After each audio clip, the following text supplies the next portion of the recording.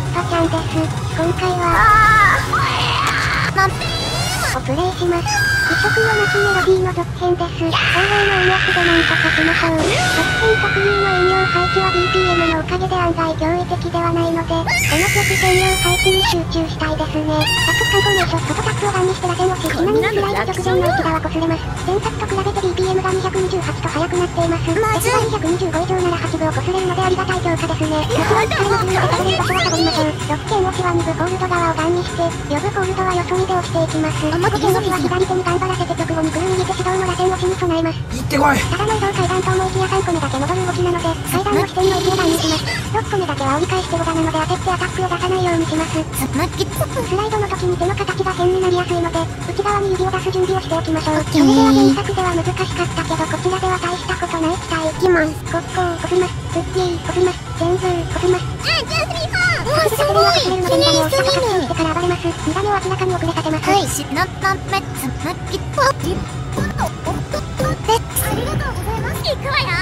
8ブジット逃げるお友達と認識します。3番で負けがちです。理由はあるので落ちてきます。はい、たまに辛いのでしっかり8ブで移動します。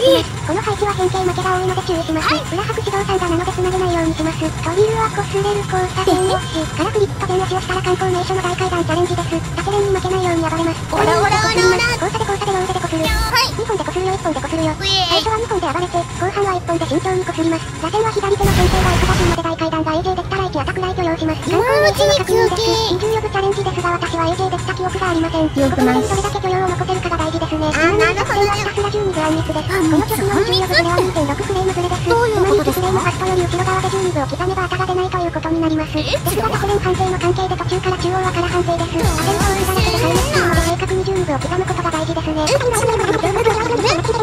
こはスレッド最初が同時押しなので気をつけます。縦連活打ちダメが金なのでこすり放題です。やったやったー楽々 AJ できますね。はい、対象は2ダメをしっかり押してからこすり暴れをして、X 筋は中央意識で暴れます。はい、前作と違って、2サビはそれほど強化されてないので1サビの感覚を思い出して暴れます。わーびっくりした私覚えてるよ。チャレンジはお祈りバトルなので、8500くらい残しておきたいですね。2サビはタップが増えた程度でほぼ同じです。BPM 的にちゃんと押すと疲れるので適度にサボりましょう。よく見ると後半でお友達が増えますが、手の変形以外同じ運指で通ってますね。同じこと考えてるね。運指も試しましょう。8打押したら残りはこすりを戻す。はい、3つ3つ。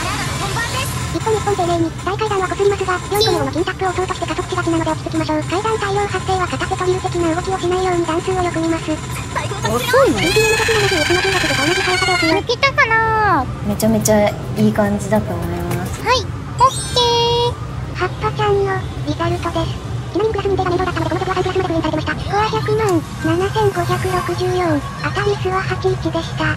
今回の動画はこれでおしまいです。ご視聴ありがとうございました。またねー